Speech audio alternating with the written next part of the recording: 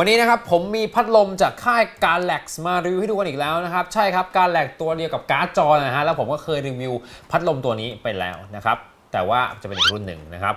หลักๆ แล้วเนี่ย GALAX หลังๆเนี่ยเขาพยายามทำตลาด product ให้มันหลากหลายมากขึ้นนะครับ ตอนแรกมีแค่การ์ดจอใช่ไหมก็คือแบรนด์ Galaxy นะนะฮะแล้วก็เปลี่ยนมาเป็น GALAX นะครับ เสร็จแล้วก็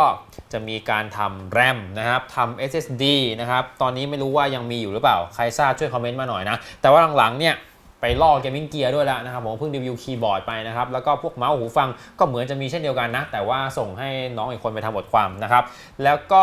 พัดลมของแต่งเคสเขาก็จัดมาให้นะครับ ตัวนี้ชื่อรุ่นว่า Vortex VW 02 นะครับ ชื่อ Vortex เฟี้ยวอยู่แต่ว่า VW 02 นี่คือมันเป็น Product Prototype หรือยังไงทำไมคุณถึงใช้ชื่อแบบนี้น่าจะคิดอะไรให้มันแบบอลังกว่านี้หน่อย ที่ผมติเนี่ยก็เพราะว่าชื่อมันดูสิ้นคิดนะครับนี่ Win 02 Win 01เออ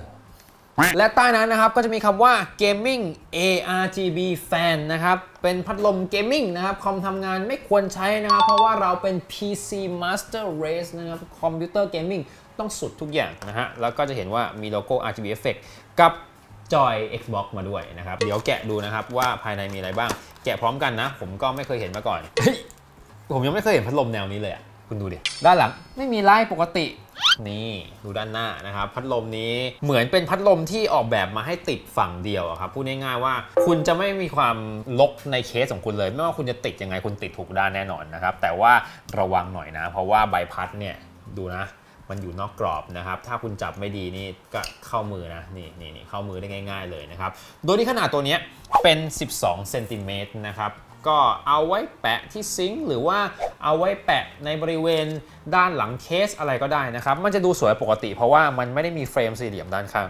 และถ้าคุณสังเกตดีๆเนี่ยตรงบริเวณที่ยึดน็อตเนี่ยตัวนี้มันจะไม่ได้มีขารองที่เป็นโฟมให้มานะครับ เพราะฉะนั้นเวลาคุณไปติดกับเคสแล้วเนี่ยมันจะมีเสียงห่ำเหมือนพวกพัดลมราคาถูกนะครับ แต่ว่ามันมีทางแก้ครับ เขาให้มานะครับ แต่ว่าคุณต้องไปติดเองเท่านั้นเองนะครับ ตัดอะไรต่างๆมาให้ครบแล้วแหละ คุณก็แค่ไปเลาะแล้วก็เสียบเข้าที่ให้ถูกต้องแค่นี้ไอ้เสียงฮัมมันก็จะหายไปแล้วนะครับ เพียงแค่อาจจะมี layer ที่มันยื่นขึ้นมาอีกนิดนึงเท่านั้นนะครับ แต่อาจจะแค่นิดนึงจริงไม่รู้สึกหรอกเพราะว่า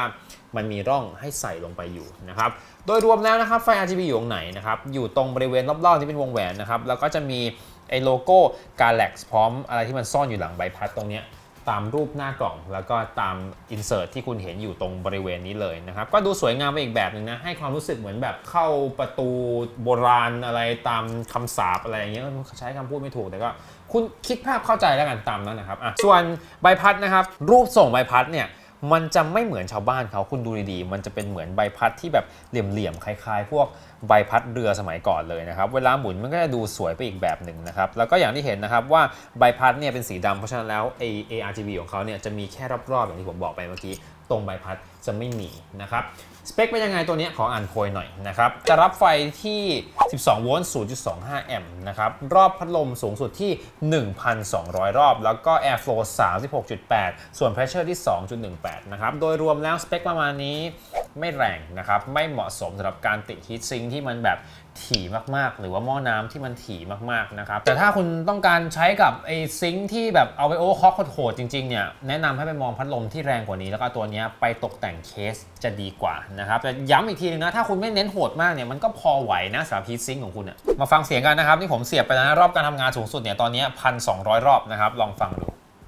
ไม่มีเลยนะครับ ผมไม่ได้ยินเลยเลยนี่คือจ่อไมค์เนี่ยมันจะมีเสียงเข้าไมค์แค่เล็ก ๆ เท่านั้นนะครับ แต่ความเป็นจริงแล้วเนี่ยบอกได้เลยนะครับ ถ้าคุณไปเทียบกับพัดลมแอร์ในห้องเนี่ยจะรู้สึกว่าพัดลมแอร์ต่างๆ มันจะดังกว่านี้อีก แล้วถ้าคุณกลัวว่าไอ้พัดลมตัวนี้เวลาติดตั้งกับเคสแล้วมันจะไม่สวยเพราะว่าอุ้ยสวยหมดแล้วมันจบตัวเดียวก็แค่ไอ้น็อตตรงเนี้ยไม่อยากเห็นน็อตเลย